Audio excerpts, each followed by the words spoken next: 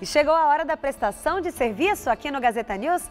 Você tem algum problema aí na sua região? Então não perde tempo e manda um vídeo de até um minutinho pra gente.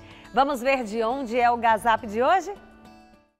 Itaquaquecetuba, aqui na Grande São Paulo. O nosso telespectador Vicente Carnevale não aguenta mais ter de conviver com tanto mato alto ali no Parque Residencial Escafibe II.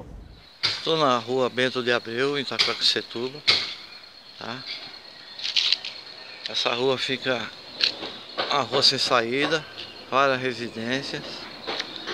E olha como é que está aqui o fim da rua cheio de mato, avançando a calçada.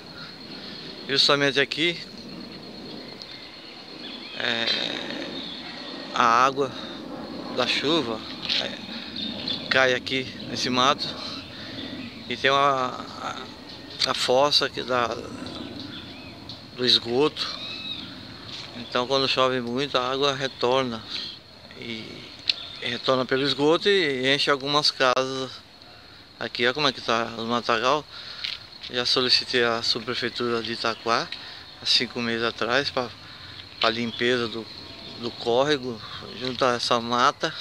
Você também está indignado com algum problema perto da sua casa e quer cobrar as autoridades? Grave um vídeo e mande aqui pra gente. O número é 11 99161 6121. Não se esqueça de fazer a gravação com o celular na horizontal. Se tiver qualquer dúvida de como fazer justamente a gravação, acesse o nosso site. Então, participe!